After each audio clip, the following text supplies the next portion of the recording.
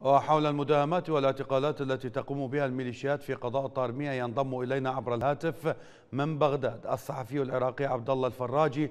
أهلا ومرحبا بك أستاذ عبد الله حياك الله أهلا بك أهلا بك سيدي أهلا بكم مشاهدي قناتكم الكريمة. مداهمات واعتقالات لعدد من أهالي منطقة تل طاسه بقضاء طارمية ما آخر ما انتهت إليه هذه الحملة الأمنية من قبل الميليشيات؟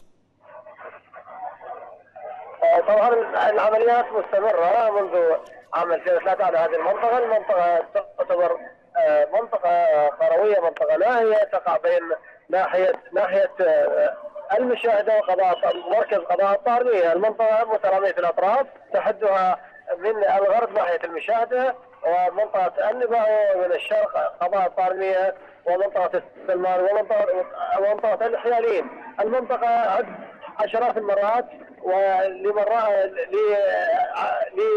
لاسباب أمنية أغلقت تماما من قبل القوات الأمنية. المنطقة هجر اهاليها تماما عام 2014 ثم عاد عاد عادوا نسبة منهم تقريبا تقريبا لا تتجاوز النسبة التي عادت ال 50% نصف السكان عادوا بتزكيات من شيوخ المناطق أو من الاجهزه الأمنية. من هذه ال 50% الذين عادوا بتزكيات من قبل ضباط الجيش والأمن الوطني نعم. تتم تتم الاعتقالات تتم من ضمن هذه ال 50% الذين تم تزكيتهم تزكيتهم طيب ما هي ما هي ما هي تبريرات الميليشيات على يعني ما هي السبب أو ما الأسباب التي على اساسها تبرر الميليشيات تلك المداهمات والاعتقالات؟ السبب الظاهر الذي هم يقولون إن العمليات استباقية دائما الجيش الجيش الذي قوات الجيش التي تتمركز في ناحية المشاهدة وفي قضاء الطارميه يدعون إنهم يشنون عمليات استباقية على خلايا لتنظيم داعش آه لكي لا تصل هذه الخلايا بهجماتها إلى العاصمة بغداد. بينما يرى مواطنو وسكان الطارميه والمناطق المحيطة بها إن استهداف الاستهداف المكرر المتكرر آه لهذه المنطقة واللي عدة مناطق مجاورة تتبع ناحيتي المشاهدة والعبايشي وقضاء الطارميه إنما تتم في آه نفس طائفي خصوصا العمليات آه العمليات تجري معها عمليات سرقة وعمليات شتم وسب طائفي وربما كلمات نابيه تصدر من بعض ضباط وبعض منتسبي القوات التي تشارك في هذه العمليات،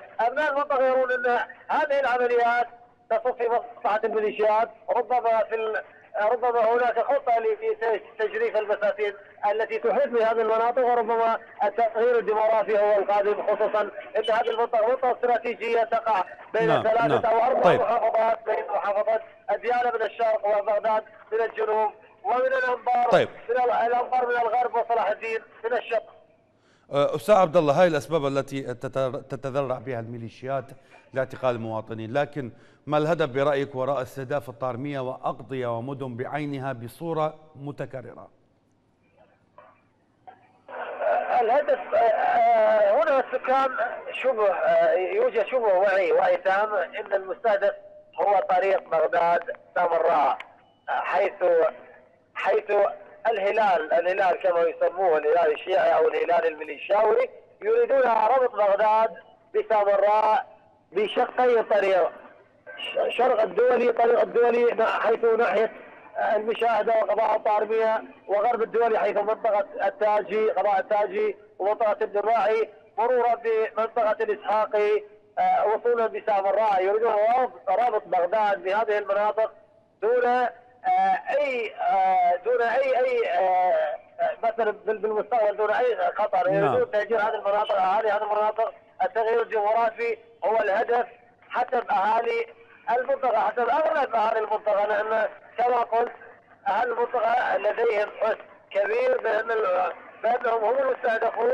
وليس خلايا داعش الذي ربما كل ستة أشهر تنفذ عمليه نعم. عملية ضد أهالي المنطقة طبعا أغلب العمليات ضد أهالي المنطقة وليس ضد القوات الأمنية خصوصا في الأشهر المضت. هذا الواقع الذي تحاول فرضه الميليشيات بالقوة هل تعتقد أنه متعمد في إطار خطة لتغيير ديموغرافية بعض المدن والمحافظات في العراق؟